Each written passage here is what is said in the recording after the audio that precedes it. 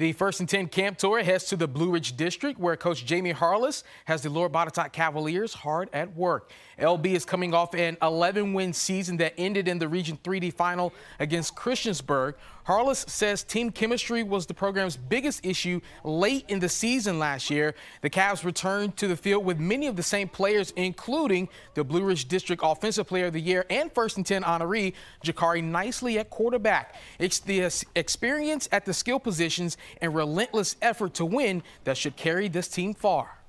Football is like anything else. The more experience you have, the closer you get to mastery. So it's it's always huge to have that. It's huge to have extra weeks to practice for the young kids. And you know, football season never feels like it ends early. We have like 16 seniors this year, so I mean, with everyone kind of up there in the senior class, it, and experience, it helps us teach the little guys and everyone who's coming up. I think everybody is a great asset, especially having Jakari as a dual threat quarterback, and then like Cade mentioned earlier, going to a more dual threat um, offense with being able to throw the receivers and stuff. It's really great. Botetourt will open the season in the Hill City against EC Glass next Friday night.